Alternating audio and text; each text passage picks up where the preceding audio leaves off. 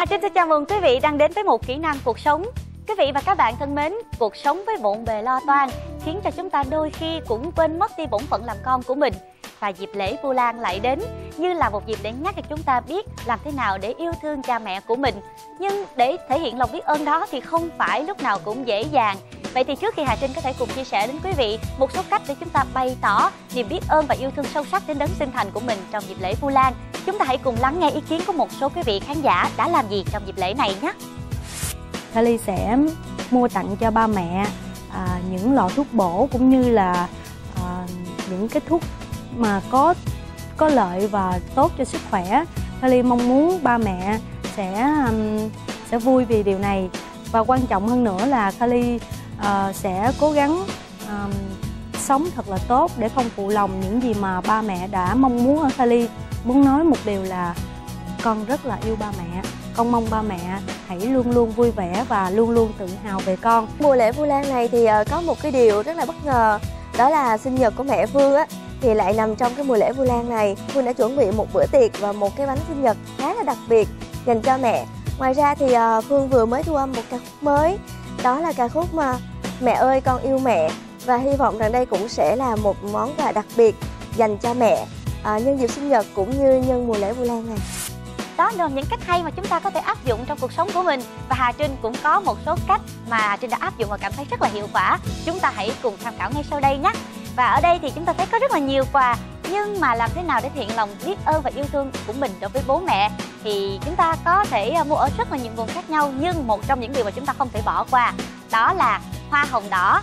Thường thì à, hoa hồng đỏ là một biểu tượng của tình yêu nhưng chắc chắn khi mà chúng ta yêu thương bố mẹ thì tặng hoa hồng đỏ cho bố mẹ là một điều không thể thiếu. Người ta vẫn thường nói là mùa vu lan hoa hồng đỏ là dành cho những ai còn mẹ còn hoa hồng trắng là cho những ai mẹ đã mất. Vậy thì nếu như chúng ta vẫn còn người mẹ yêu thương của mình ở bên cạnh hãy dành tặng một bó hoa hồng thật là đẹp để dành tặng cho mẹ của mình và bên cạnh đó, các bạn cũng đừng quên là không chỉ mua ở ngoài tiệm, chúng ta cũng có thể à, mua những cành hoa rời rạc và tự gói lại theo cách của mình, trổ hết tài năng khéo léo của mình. Và chúng ta cũng có thể cắm vào bình hoa ở gian bếp hoặc phòng khách để làm mẹ bất ngờ. Và thậm chí chúng ta cũng có thể tự làm hoa hồng đỏ bằng giấy để tặng cho mẹ của mình. Chắc chắn mẹ sẽ rất là cảm động. Và chúng ta sẽ ưu tiên là dù không khéo tay nhưng mà chúng ta có tấm lòng và sự chân thành đặt vào đó, chắc chắn sẽ giúp cho bố mẹ của bạn vui hơn rất là nhiều và bên cạnh hoa hồng đỏ thì chúng ta còn có nhiều sự lựa chọn khác mà chúng ta có thể dễ dàng tìm thấy được. Đó chính là những cái đĩa nhạc hoặc là những quyển sách hay, giúp cho bố mẹ bạn có thể thư giãn hơn. Những đĩa nhạc đơn giản và những đĩa kinh Phật chẳng hạn sẽ giúp cho bố mẹ bạn cảm thấy là bạn có sự quan tâm đến bố mẹ của mình. Và những món đơn giản này cũng có thể dễ dàng được tìm thấy ngoài cửa hàng tạp hóa hoặc là siêu thị hoặc là nhà sách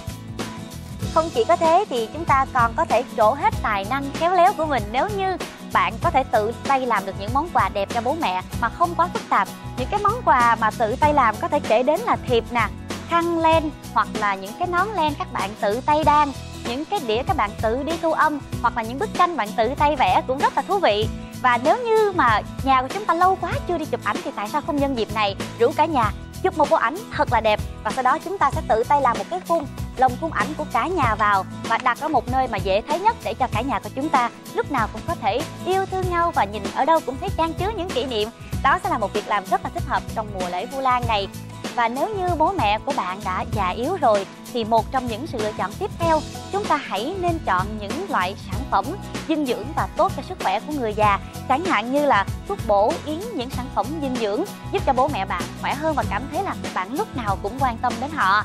và bên cạnh đó thì chúng ta còn có những món quà có giá trị tinh thần khác. Bạn có thể đăng ký cho bố mẹ mình vào một cái khóa tập dưỡng sinh hay là một cái khóa tập hoạt động cho người già. Và chúng ta cũng có thể đặt tour cho bố mẹ đi nghỉ dưỡng. Đó có phải là sự quan tâm rất là chu đáo hay không? Và không chỉ là những món quà vật chất như Hà Trinh vừa mới kể đến mà chúng ta còn có thể tận dụng thời gian của mình để thể hiện sự chân thành và yêu thương đến bố mẹ. Khi mà chúng ta quá bận rộn thì thường chúng ta lại quên đi mất những cái sự quan tâm bằng cách dành một ít thời gian của mình thôi. Chẳng hạn như chúng ta có thể rủ mẹ đi chợ, đi siêu thị để trò chuyện cùng mẹ nhiều hơn, lắng nghe về những niềm vui, nỗi buồn trong cuộc sống của mẹ và tâm sự lắng nghe những câu chuyện của mẹ để biết rằng mình vẫn còn quan tâm và chỉ một ít thời gian đó thôi. Chúng ta thấy là mình sẽ được kết nối gần hơn với mẹ của mình và mẹ cũng cảm thấy thật là vui, mặc dù bạn không cần tặng một món quà gì cả và bên cạnh đó, tại sao chúng ta tranh thủ một cái thời gian đi làm về, ghé qua đâu đó mua một món chay mà mẹ thích, hoặc là tự tay mua những món đồ về chúng ta tự làm đồ ăn,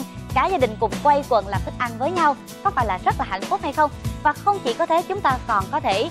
gửi cho bố mẹ mình những cái tin nhắn, những cái thông điệp yêu thương nếu như bạn ở quá xa và không có thời gian để mà ở gần bố mẹ của mình thì hãy hiện diện trong cuộc sống của họ bằng cách nhắn tin, gọi điện. Con nhớ mẹ, con thương mẹ, cho này mẹ có khỏe không? Bố có khỏe không? Và chắc chắn đây cũng là một món quà tinh thần rất là đáng yêu mà bạn có thể sử dụng được trong mùa vu lan này. Không cần phải tốn quá nhiều tiền để mua một món quà giá trị. Và ngoài ra thì chúng ta cũng đừng quên bỏ một ít thời gian để có thể cùng mẹ làm việc nhà, để cả nhà có thể trò chuyện cùng nhau. Những việc nhà từ đơn giản như là lau nhà, quét nhà gấp quần áo, dọn dẹp thay căn màn đến những việc khó hơn như là sửa máy lạnh hay là một số thiết bị điện ở trong nhà cũng giúp cho mẹ cảm thấy là bạn đã đến gần mẹ hơn và quan tâm đến gia đình nhiều hơn. Vậy thì đó chính là những cái món quà rất là đơn giản, không cần phải tốn quá nhiều tiền và tốn quá nhiều thời gian mà bạn vẫn có thể thể hiện được tình yêu thương và biết ơn sâu sắc với gia đình của mình. Và trên đây là những cái cách mà quý vị khán giả cũng như là Hà Trinh đã cùng tim pha được và muốn chia sẻ đến tất cả quý vị khán giả đang theo dõi một kỹ năng cuộc sống. Hy vọng rằng với những kỹ năng này, chúng ta có thể làm cho bố mẹ vui lòng. Và hãy nhớ là quan trọng hơn hết chính là những món quà tặng xuất phát từ trái tim, sự chân thành và lòng biết ơn sâu sắc. Và không chỉ trong ngày lễ Vu Lan. Hy vọng rằng quý vị sẽ tận dụng 365 ngày trong năm để có thể có được cơ hội tiếp cận với bố mẹ nhiều hơn và yêu thương nhiều hơn. Để sau này nếu như mà chúng ta không còn bố mẹ nữa thì chúng ta cũng không hối hận trong cuộc sống của mình. Nhân đây thì chương trình xin chúc cho quý vị sẽ có một ngày lễ Vu Lan, thật là vui và hạnh phúc bên bố mẹ của mình. Thân ái, chào tạm biệt và hẹn gặp lại quý vị.